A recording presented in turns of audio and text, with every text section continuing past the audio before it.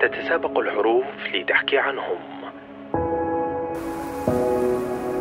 تأمل أن تنال شرف الاقتران بأسمائهم.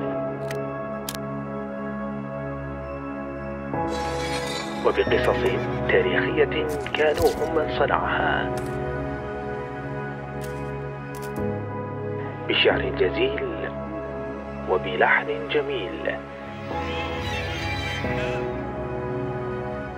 بشجاعة وعلم وقصة.